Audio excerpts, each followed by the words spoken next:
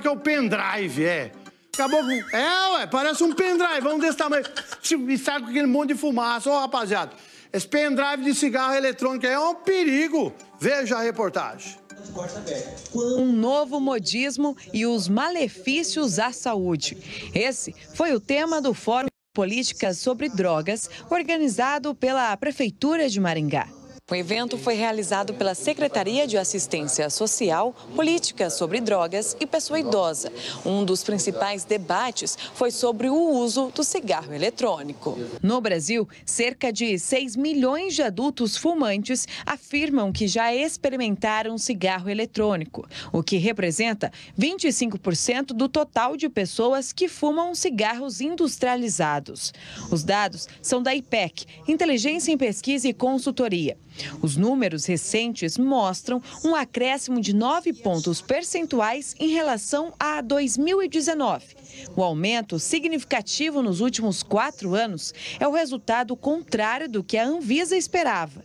A Agência Nacional de Vigilância Sanitária proibiu a venda desses produtos em 2009.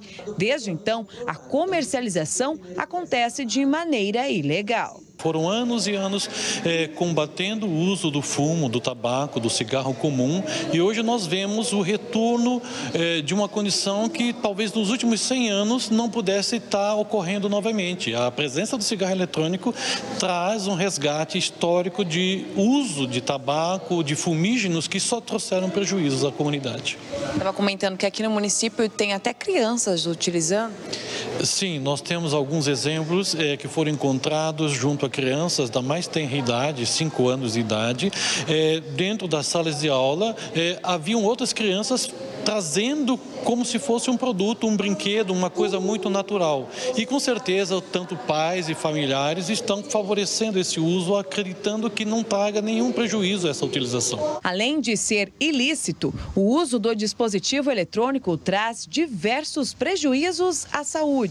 Todos os dispositivos né, eletrônicos que são usados como substitutos ao cigarro, é, todos eles, a partir dos seus princípios é, de utilização de químicas dentro do próprio, mesmo sendo eletrônicos, você tem uso de substâncias é, que, ao serem inaladas, vão trazer as mesmas consequências. A grande preocupação é que os efeitos dessas substâncias novas é, são mais imediatos do que seria o cigarro comum. E nós temos uma consequência muito grave, né? A perspectiva de você desenvolver uma fibrose é, pulmonar, é, com certeza vai te levar a um óbito muito mais rápido do que seria o cigarro comum. O cigarro eletrônico não é o único que traz malefícios. Qualquer outro tipo de consumo de tabaco, sendo legal ou não, é contraindicado. Lícitas ou ilícitas, de uma forma geral, são drogas e devem ser vistas e encaradas dessa forma.